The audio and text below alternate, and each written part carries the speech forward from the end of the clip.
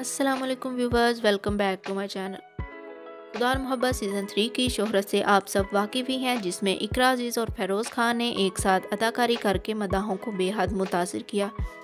इस drama serial ने भी तमाम ड्रामा सीरियल के रिकॉर्ड तोड़ दिए थे, ना सिर्फ़ पाकिस्तान, बल्कि दूसरे कई ममालक में भी इस ड्रामा सीरियल की कहानी को बेहद पसंद किया गया था।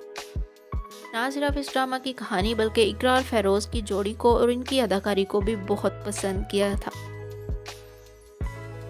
इकरा और फरोज दोनों पाकिस्तान इंडस्ट्री के जाने माने अदाकार हैं। किसी भी तारुफ के मोहताज नहीं हैं। दोनों बहुत से ब्लॉकबस्टर ड्रामा सीरियल में अदाकारी कर चुके हैं। खुदार मोहब्बत के बाद तेरे बिन आया, जिसने भी काफ़ी ज़्यादा शोहरत समेटी। यमुना और भाज को एक साथ कास्ट किया था इस ड्रामे में। आप सब इस ड्रामे की शोहरत से, यमुना और भाज की जोड़ी की शोहरत से भी काफ़ी ज़्यादा वाकिफ़ हैं। तेरे बिन सीज़न टू के साथ साथ डायरेक्टर का कहना है कि खुदार मोहब्बत का सीज़न फोर भी बहुत जल्द लेके आएँगे। लेकिन उन्होंने ये कंफर्म नहीं किया कि इस सीज़न फोर में भी इकरा और फेरोज़ को कास्ट करेंगे या यमुना और भाज को। आप इस बारे में क्या कहना चाहेंगे? क्या आप यमुना और भाज को देखना चाहते हैं या इकरा और फेरोज़ को? कुछ अर्सा पहले भी इकरा अज़ीज़ और फेरोज़ खान का एक साथ ड्रामा सीरियल आया था, लेकिन फेरोज़ खान की डोमेस्टिक वायलेंस वाली कंट्रोवर्सी के बाद इकरा ने फेरोज़ के साथ काम करने से इनकार कर दिया था।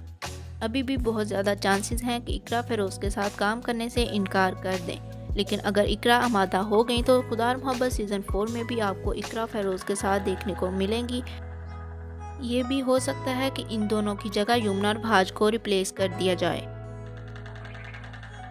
आप इस ड्रामा सीरियल में कौन से अदाकारों को देखना चाहेंगे, कमेंट सेक्शन में अपना फीडबैक ज़रूर दीजिएगा। इसके अलावा, अगर आप तेरे बिन सीज़न टू का इंतज़ार कर रहे थे, मजीद आने वाली वीडियोस में आपको तमाम तफसीत मिल जाएँगी। तेरे बिन कब ऑनर होगा? यमुना और भाज के साथ साथ कौन से अदाकार होंगे? वीडियो पसंद आए तो लाइक कर दें। आऊँगी नेक्स्ट वीडियो के साथ। अल्लाह हाफिज़।